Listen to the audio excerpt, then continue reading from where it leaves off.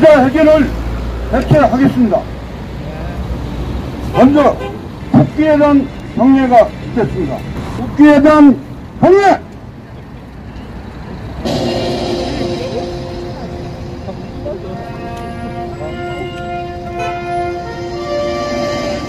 다음은 애국가 대창이 있겠습니다. 거기에나 이양숙 애국가수의 선창에 따라 애국가 1절만 대창하겠습니다.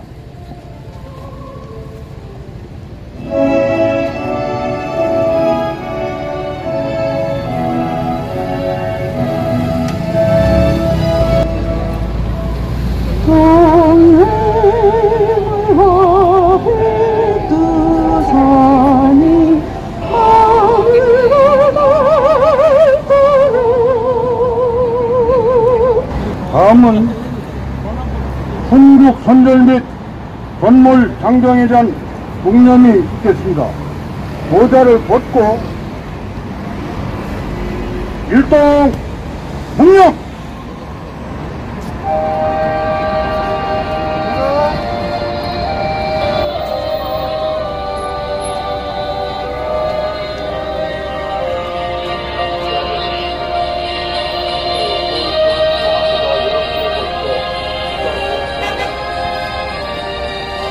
다음은 목연합 제2기 홍부진 상 공동대표의 기자회견 취지문 낭독이 있겠습니다.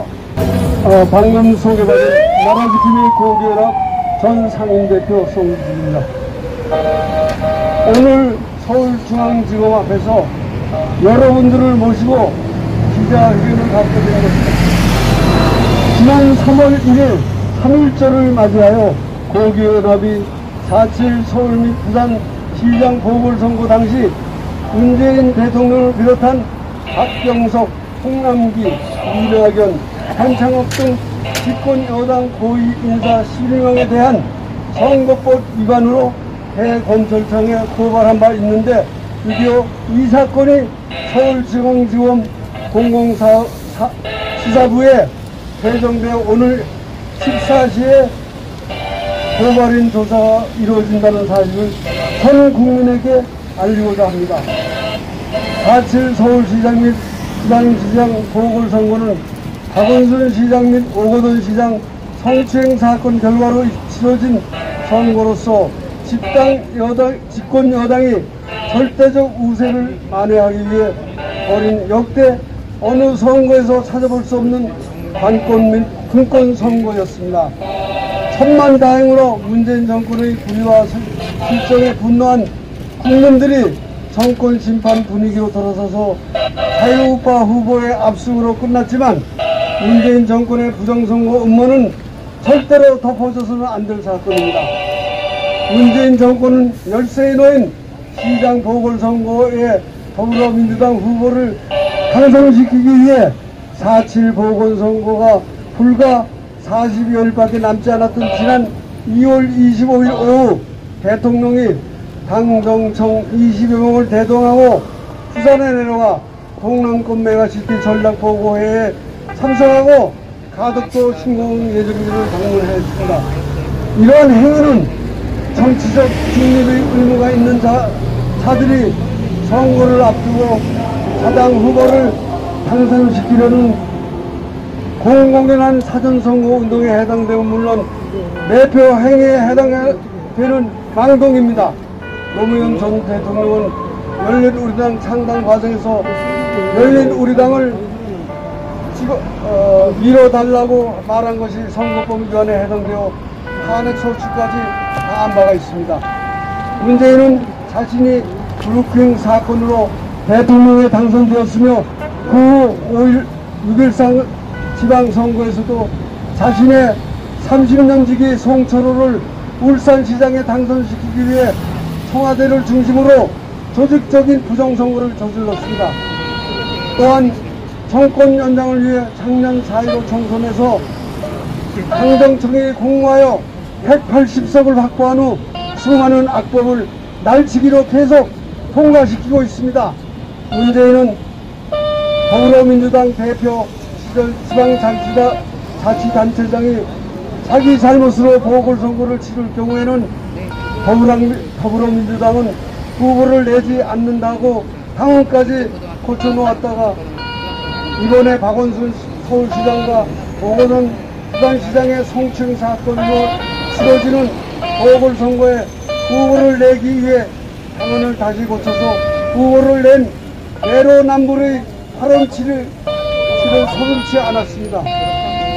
더구나 국회는 가덕도 신공항 건설 사업에 대한 어, 예비 타당성 검토도 없이 주 부서인 건설교통부 공무원의 반대에도 불구하고 부산시 유권자들이 관심을 사기 위해 야당과 합의 없이 일방적으로 가덕 신공항법을 통과시켰습니다. 국회가 야당과 수많은 국민들이 반대에도 불구하고 부산시장 선거를 코앞에 두고 가덕 신공항법을 통과시킨 행위는 사전선거 운동의 일환으로 볼 수밖에 없습니다. 또한 수조 원의 국채를 발행하며 추경을 편성하여 코로나 지원금 명목으로 무차별적으로 살포하는 것은 매표 행위에 해당합니다. 나라, 나라 지킴이 보고에 나온 문재인 정권의 협정과 선거법 위반에 대한 국민들의 관심을 고취시키기 위해 시민단체 조선은 유일하게 문재인 대통령을 비롯한 정치 권력자 11명을 사법당국에 고발하게 된 것입니다.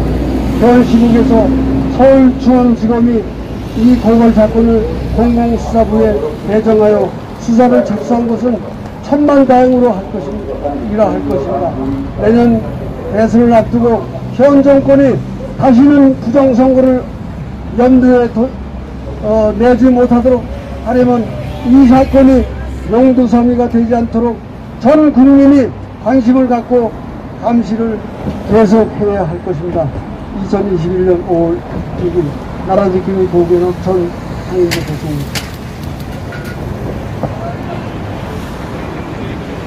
다음은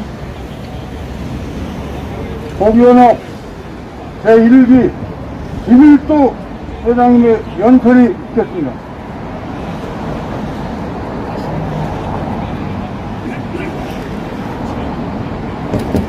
애국 시민 여러분, 어, 오랜만에 반갑습니다. 어,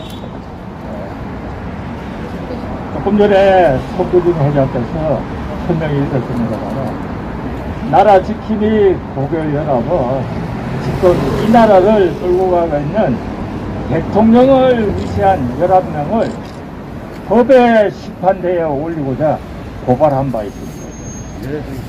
이 고교연합은 우리의 아들, 딸들인 4050 세대, 그리고 손자, 손녀인 2030 세대에게 우리가 이룩한 자유민주주의와 시장 경제를 그들에게 물려주고 우리가 눈을 깎기 위해서 전국에 350여 개 남녀 고등학교 동창들이 모여서 만든 단체입니다. 저도 벌써 나이가 8순에 접어들었습니다. 이승만 대통령이 1948년 8월 15일 대통령을 건국한, 대한민국을 건국한 그 보름 뒤인 9월 1일에 초등학교에 입학을 했습니다. 그 초등학교에서 배운 것이 대한민국은 민주공화국이다. 대한민국의 주권은 국민에게 있다. 이 한반도 역사상에 백성이 임금의 신하가 아니고 나라의 주인이란 것을 처음으로 배운 세대입니다. 그렇기 때문에 저희들은 어느 누구보다도 자유민주주의에 대한 애착을 가지고 이걸 지키고자 가슴 속에 간직해오면서 평생 살아온 세대입니다. 그러나 여러분 자유민주주의가 무엇입니까? 법치 국가입니다. 법이 만민 앞에 평등하고 법에 정의가 살아있고 만 백성이 법을 지키고 법의 보호를 받는 나라가 자유민주주의입니다. 그러나 이 문재인 정권이 들어서고 나서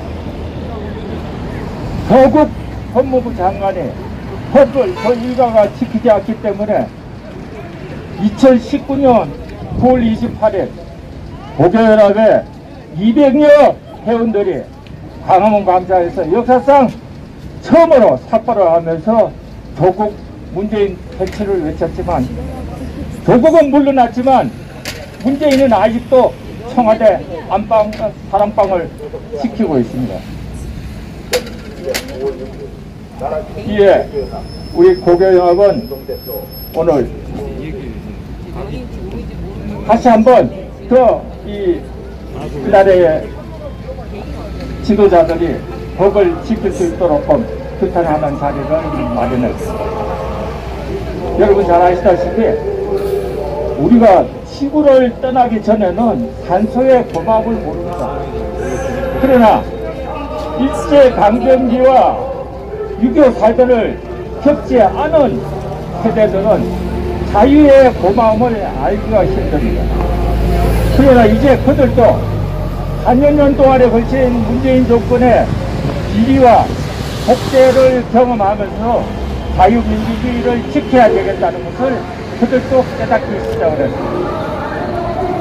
이 나라의 주인은 젊은이들이고 그들이 대한민국의 미래입니다.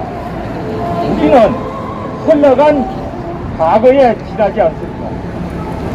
그러나 우리는 경험이라는 지혜를 가지고 있습니다. 오늘 우리가 이 자리에 선 것은 젊은이들이 자유민주주의의 번영한 대한민국을 이끌어가는 데에 이 경험이라는 지혜를 가지고서 그들의 이끌음이 되고자 이 자리에 선 것입니다. 반드시 이를 기억해 주시기 바랍니다. 감사합니다.